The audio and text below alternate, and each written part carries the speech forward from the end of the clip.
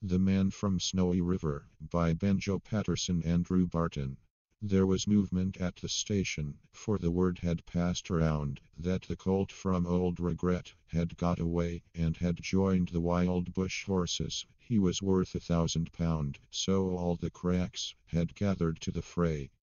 All the tried and noted riders from the stations near and far had mustered at the homestead overnight, for the bushmen love hard riding where the wild bush horses are, and the stock horse snuffs the battle with delight.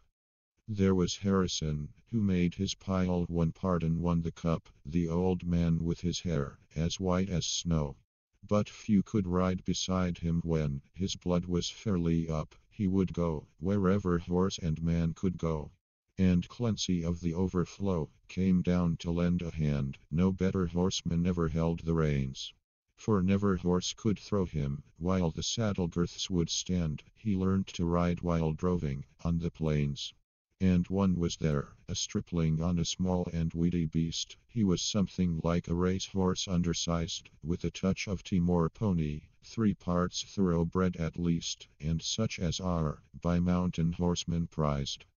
He was hard and tough and weary, just the sort that won't say die. There was courage in his quick, impatient tread. And he bore the badge of Gomness in his bright and fiery eye, and the proud and lofty carriage of his head. But still so slight and weedy, one would doubt his power to stay, and the old man said that horse will never do for a long and tiring gallop. Lad, you'd better stop away, those hills are far too rough for such as you. So he waited sad and wistful. Only Clancy stood his friend. I think we ought to let him come, he said. I warrant he'll be with us when he's wanted at the end, for both his horse and he are mountain bred. He hails from Snowy River, up by Kosciuszko's side, where the hills are twice as steep and twice as rough, where a horse's hoofs strike fear light from the flint stones every stride. The man that holds his own is good enough. And the Snowy River riders on the mountains make their home where the river runs those giant hills between. I have seen full many horsemen since I first commenced to roam, but nowhere yet such horsemen have I seen. So he went, they found the horses by the big mimosa clump, they raced away towards the mountain's brow, and the old man gave his orders, boys, go at them, from the jump, no use to try for fancy riding now. And Clancy, you must wheel them, try and wheel them to the right. Ride boldly, lad, and never fear the spills, for never yet was rider that could keep the mob in sight if once they gained the shelter of those hills. So Clancy rode to wheel them. He was racing on the wing, where the best and boldest riders take their place, and he raced his stock horse past them, and he made the ranges ring with the stock whip as he met them face to face.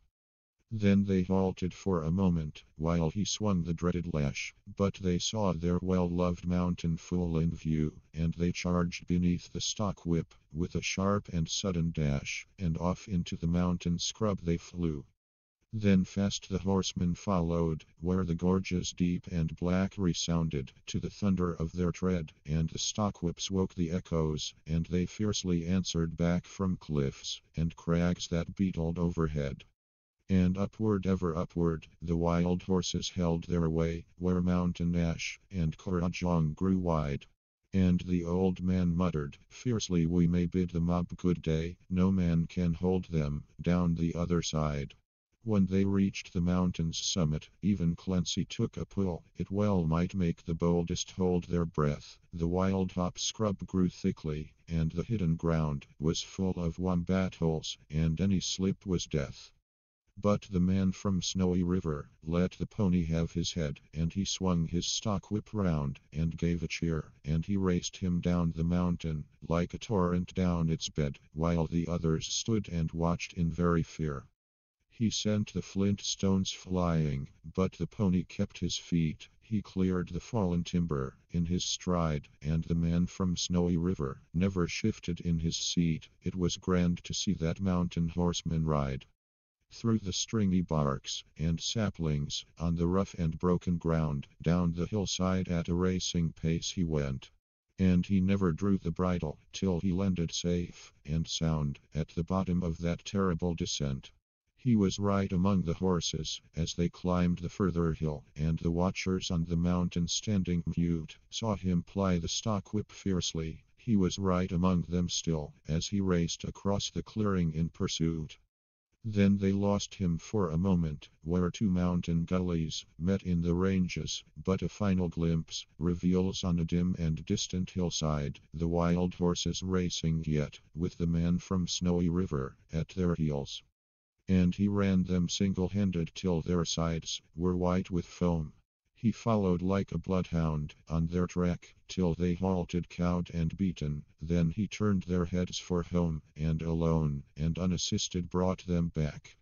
But his hardy mountain pony he could scarcely raise a trot. He was blood from hip to shoulder from the spur. But his pluck was still undaunted, and his courage fiery hot, for never yet was mountain horse a cur.